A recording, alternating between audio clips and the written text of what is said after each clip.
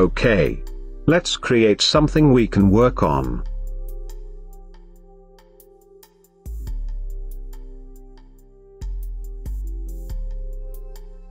We'll talk about most used functions in 3ds Max, which are, selection, moving, rotating and scaling objects.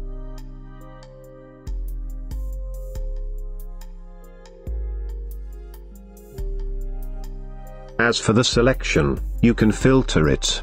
Close here is filter. For example let's choose shapes.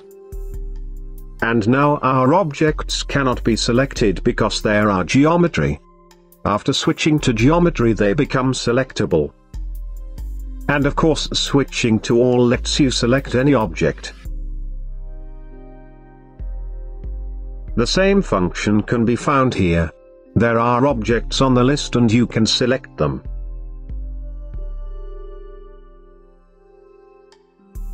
By holding down control both of them can be selected here. And here are filters. All of them are turned on by default. If display geometry will be turned off, then all geometry objects will disappear from the list.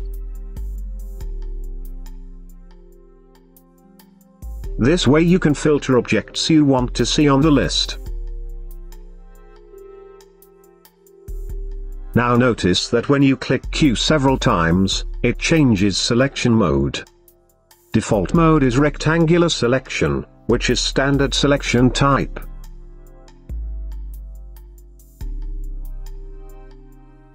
But there are also other types like circle. Here is fence selection, after clicking you start drawing the line and confirm each line with mouse click.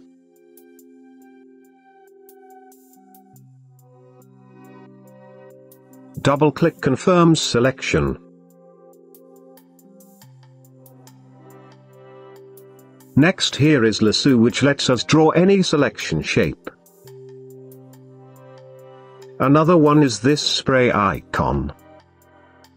It's selecting by painting. When you hold mouse button such circle appears, and everything it touches is selected.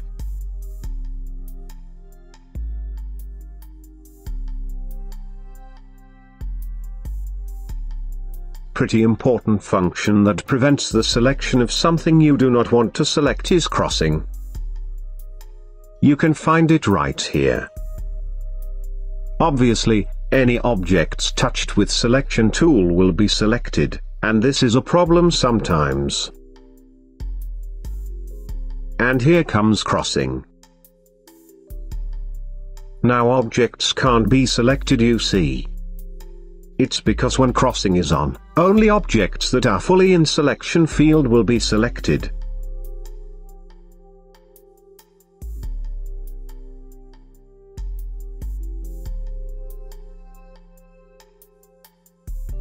Let's turn it off now.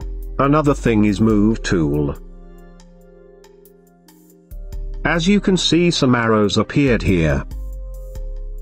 You can grab them and use to move objects in directions they point at. There are also the planes you can grab and move object along them. For example with this plane I can move object in both x and z directions.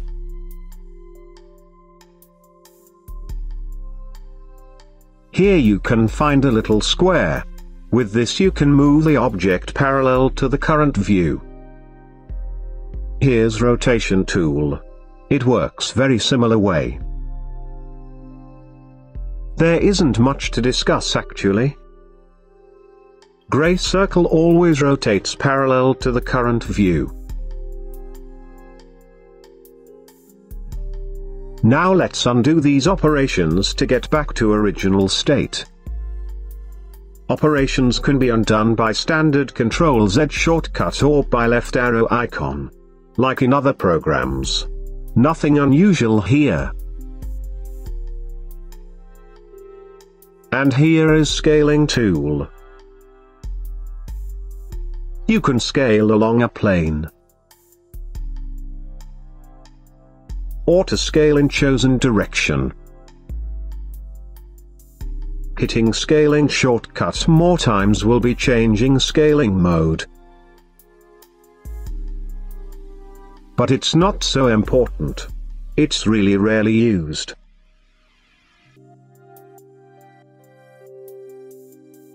Here's another function which is useful sometimes. Select and rotate and select and move.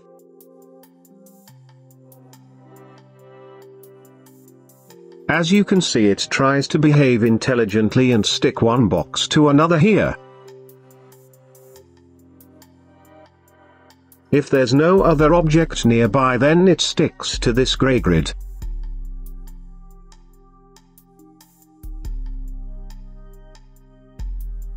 Let's place it here.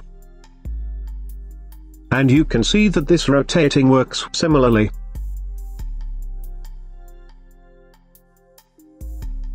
For all these four tools there are two important parameters. Its coordinate system and point center.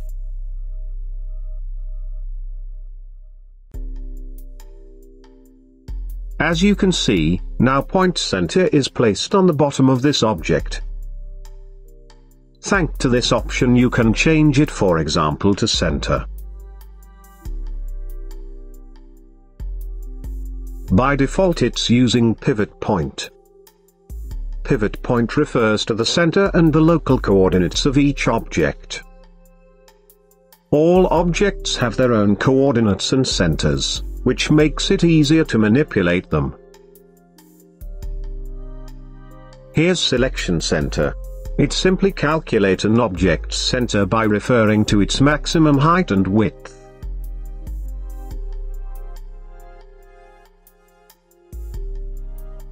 Next here is Transform Coordinate Center. As you can see in perspective view, it appears here permanently in the center. In other views it works same way. No matter what, pivot point will stay in the center of the view.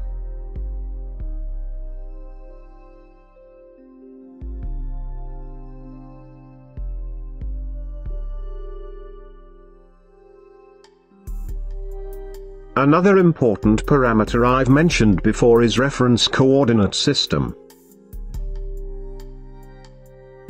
You chose your coordinates here. For example now it's set to view here. If you'll rotate now, and get back to move tool, then you can notice that it uses same coordinates you can see here in the left corner. These are global coordinates.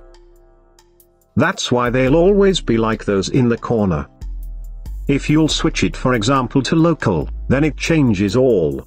It works different now as you can see. It sometimes really saves the situation and facilitates control over objects. Anyway, most often you will use view and local coordinates. Sometimes maybe screen too.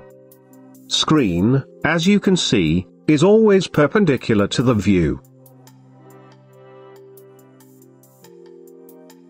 Other coordinates are related to objects that are in a particular hierarchy.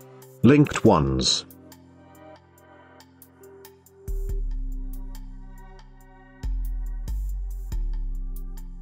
But that's something for later discussion.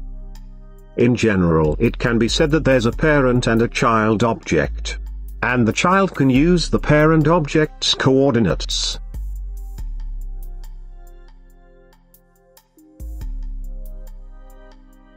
At the moment it is probably unclear. However, it is something that will come out in practice. Still, even in such situations you most often use local coordinates.